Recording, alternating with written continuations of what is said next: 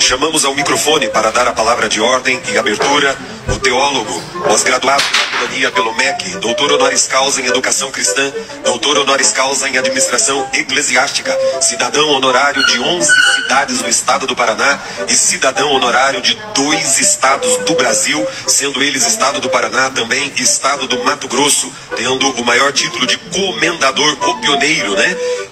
Do estado do Paraná, também presidente da cidade de Umuarama, presidente da UMADERSU, União de Ministros das Assembleias de Deus da região sul do Brasil, presidente e vice-presidente da CGADB, Convenção Geral das Assembleias de Deus no Brasil. O vosso presidente, vossa reverendíssima, pastor Percy Fontoura, o presidente da CIADEP, com a palavra.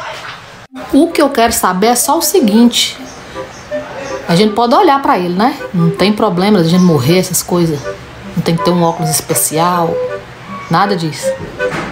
Porque eu tô me sentindo igual a Moisés quando queria ver a glória de Deus. E Deus falou com ele: Não, você me olha só de relance, só na greta, porque senão você morre. Deus pode ir no culto desse aí, né? Porque senão a gente tem que avisar para ele: Hoje o senhor não vem, não, porque já vai ter um cara que. que é tal e qual. Olha, vou te falar, viu?